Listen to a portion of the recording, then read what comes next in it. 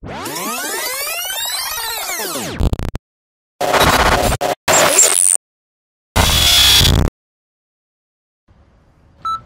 guys, my name is Sally and welcome back to another video.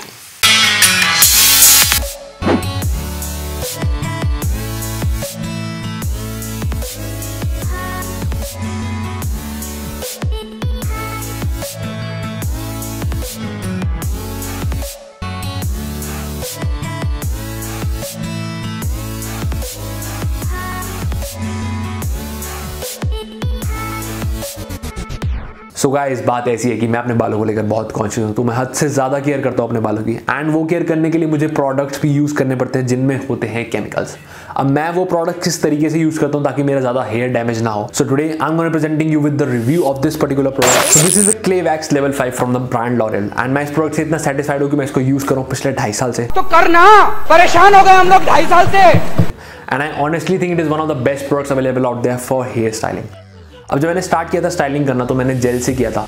अब jail के अंदर इतने केमिकल्स वगैरह होते थे, जब मैंने रेगुलरली उसको यूज़ किया तो मेरे बालों का जो टेक्सचर है, वो ख़राब हो गया था। फिर मैंने उसके बाद वैक्स पे स्विच किया। जब मैंने वैक्स यूज़ करी तो मेरे को काफ़ी बेटर लगी और मैं अभी तक ही वैक्स यूज़ कर रहा हूँ। ये जो प्रोडक्ट का रिव्यू है, इसको मैंने पाँच बेसिस पर डिफ्रेंशिएट किया।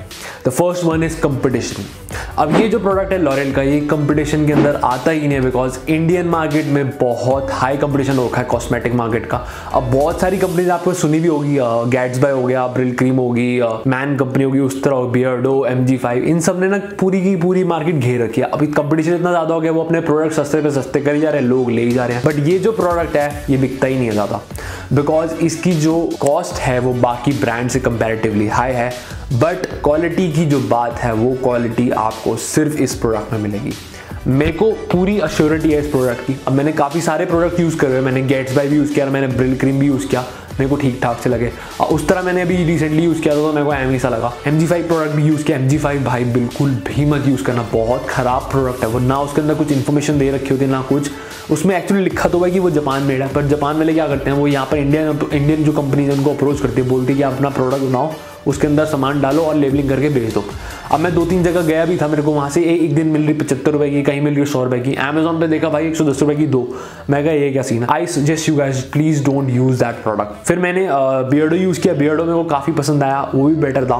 बट जब मैंने लॉरियल यूज़ किया ना I was amaze with the product and till now I am using it और आप मानोगे नहीं, शायद मेरी पिछले ढाई साल के अंदर शायद चौथी डब्बी है एंड अभी तक चल रही है। और ये जो प्रोडक्ट है, इतना छोटा लगता है देखने में बट वो जो यूज़ होती है, इसकी बहुत कम होती है एंड वो काम भी अच्छे से करता है। तो second basis of differentiation of this product is physical attribute अब ये जो प्रोडक्ट है ना, कहीं पड़ा हो ना तो बंदे का ध्यान चला ही जाता है बिकॉज़ ये बहुत आई कैचिंग है। और इसकी कलर ग्रेडिंग वगैरह इतनी अच्छी हो रखी है कि भाई लगता है कि कुछ लग्जूरियस प्रोडक्ट है। और जो कंपनी ने इसके अंदर लेबल्स डाले हैं, बहुत अच्छे तरीके से डाले हुए बहुत आई कैचिंग है। और जितनी इन्फॉर्मेशन होगी, आपकी मैन्युफैक्चरिंग होगी, इसके अंदर इंग्रीडियंट की इन्फॉर्मेशन दे रखी है।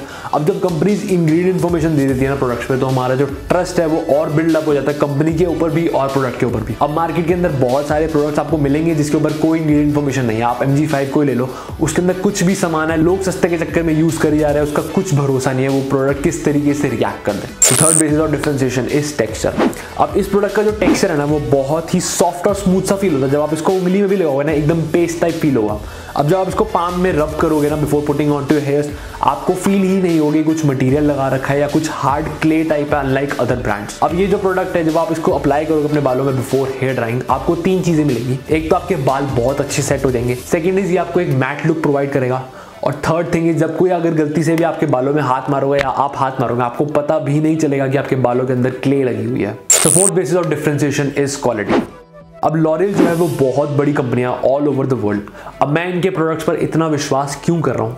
तो ऐसा है कि लॉरियल एम कंपनी तो है नहीं कि सुबह उठी, एक प्रोडक्ट बनाया मार्केट करके उसको बेच दिया। अब इन कंपनीज़ के पूरे research and development proper centres होते हैं, वहाँ पूरी प्रॉपर रिसर्च होती है। इनके कुछ स्टैंडर्ड्स होते हैं क्वालिटी और सेफ्टी को लेकर, जो कंपनीज़ पूरी करती है, तब जाके बनता है क्वालिटी प्रोडक्ट अब आप मार्केट में जाओगे, आपको दो सौ से ढाई रुपए की एक वैक्स की डब्बी मिल जाएगी, आपकी गैट्स बैग आती है, आपकी उस तरह की आ जाती है। अब आपको नहीं पता कि इसके प्राइसेस इतने लो क्यों हैं। और ऐसा है कि इंडियन कंपटीशन बहुत ज़्यादा हो रहा है, ठीक है? हर कंपनी अपने प्रोडक्ट्स निकाल रही है और इतना कंपटीशन ज़्यादा होगी कि हर कोई अपनी कॉस्ट गिराई जा रही है बट वो क्वालिटी पे बिल्कुल ध्यान नहीं देती, कुछ भी प्रोडक्ट बना देती है। और ये जो प्रोडक्ट है, ये छह सौ रुपए का मार्केट में अवेलेबल था और ऐसा नहीं है कि ये बाहर से इंपोर्ट होता है या इस पर इम्पोर्ट ड्यूटीज़ वगैरह लगती है, ऐसा कुछ भी नहीं है।